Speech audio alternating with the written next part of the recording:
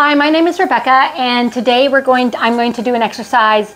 It's called officially, I think, something like hip extension, but I call it glute squeezes because that's what you're doing. You're squeezing your glutes. So, and that's why I really like it. It's one that is um, you can do it many different ways, and today I'm going to show you um, with both legs, like both legs down, then one leg at a time. So all you all you have to do is you just have to have a floor and your body and you just lay back and you bend your knees so that they're just comfortable and your heels are on the ground.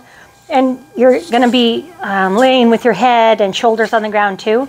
And you want your feet to be right underneath your knees approximately so that when you come so you're going to be laying here and then you're just going to do a glute squeeze.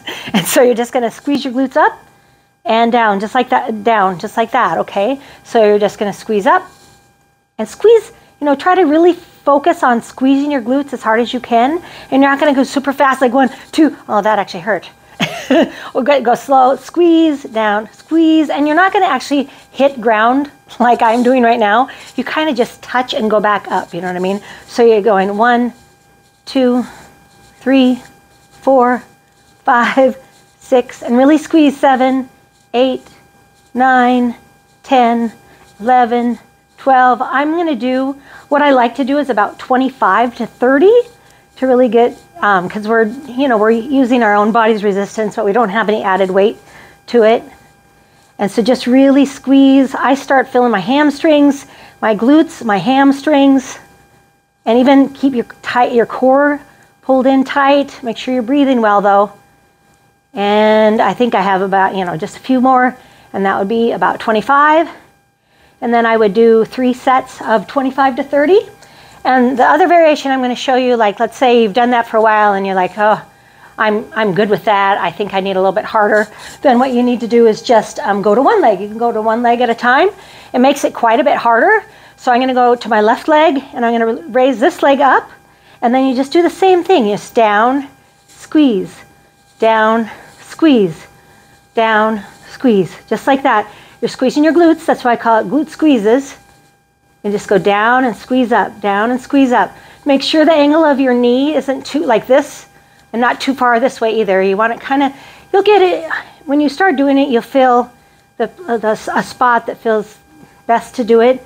And you're just gonna, you're not gonna do 25 to 30 of these. I do maybe more like 15. You can go up to, so I would do three sets of 15. And then, of course, after you get that side done, you want to go to the other side too. So I just put my right foot down where my left foot was so that I'm in a good spot. And then I raise out the other leg and I just go down and squeeze. And I, these are a higher intensity, obviously, because you're just using one leg at a time. And um, I like one leg things because you can really see, um, like my left leg, it was way harder on my left leg to do it. I am right handed, but for some reason, it's just I'm more coordinated on my right side, so it's easier for me to do. And I'm going to do, I don't know how many that is, but keep going. I haven't done these in a while. I can really tell it's working my glutes and my hamstrings. Whoo! There we go.